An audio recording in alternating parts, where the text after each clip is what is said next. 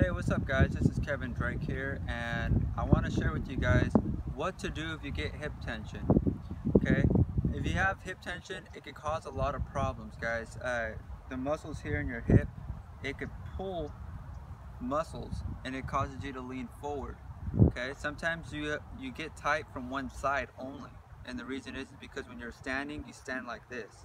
Okay, if you notice that you ever stand like this or like this, you know, especially when you're in a line, you start standing like this, it causes hip tension, guys. Um, sitting down too long, you gotta imagine you're in a, in a seated position, your hip is really tight when you go down, so it stays in a tight position, and that's another reason. So when you're sitting down, make sure to stand about every 20, 30 minutes and do some mobility exercise. So that's what to, that's what you should do.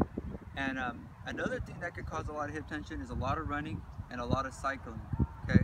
So let's get to what you could do. So I'm gonna show you some mobility exercises, okay? So start by going in circles like this. And do it for maybe about 30 seconds each way, so a minute total. Go, go for 30 seconds, okay? Also, you could stretch to the side. So stretch here to the side. If you want an even more deeper stretch, you can cross your leg over and stretch this way and do it on both sides. Here.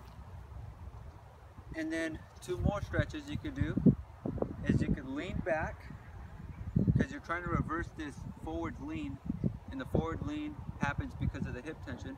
So you want to reverse that by going back and stretching back as far as you could to where you feel comfortable where you're not going to hurt yourself. Then after you do that slowly lean forward and get get low. Try and touch your toes Okay guys, so that's what you could do. Those are the uh, some of the big reasons that could cause hip tension.